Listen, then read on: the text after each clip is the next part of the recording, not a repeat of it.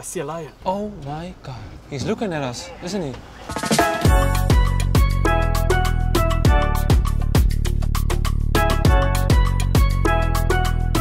We're here in uh, Akagera National Park, hoping to see some nice animals, especially some lions, but we'll see if we're lucky today.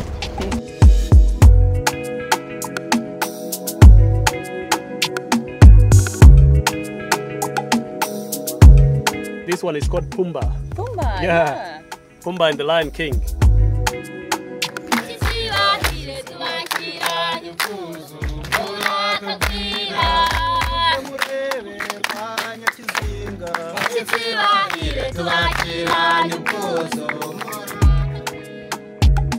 They're really nice, they're, they're kind, they're taking care of us really good. Yeah, the service is amazing.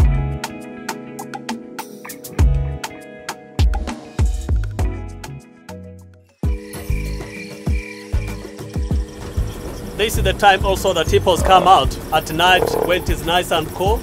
A hyena. Hey, he's holding something, he's holding something.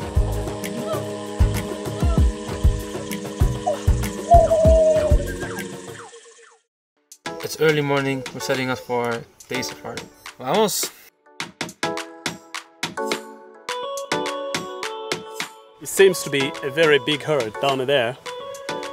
See the mole going down. See that one carrying a bird. Oh, there's so many! Yeah. So the lions are chasing them as well? Yes. This is also a good meal for the lions. Yeah? Yeah. So funny about the bird just sitting on them. Ah, yeah. That's a, a type of uh, symbiotic relationship. You know, the birds are picking the insects that are being disturbed by the buffaloes. I swear, if you look in this, it looks like a movie.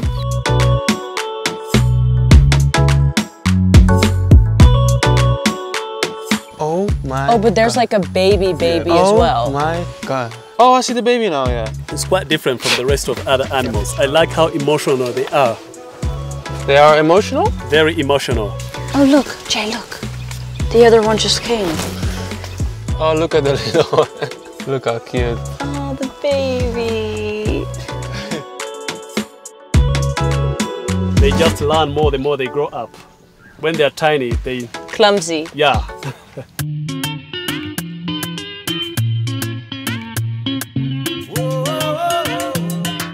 see a lion. No, Where? I see straight ahead. no. No, Some where? brown thing in the middle, He's moving, he's moving, he's moving. moving the head up. Oh my god. They're so pretty.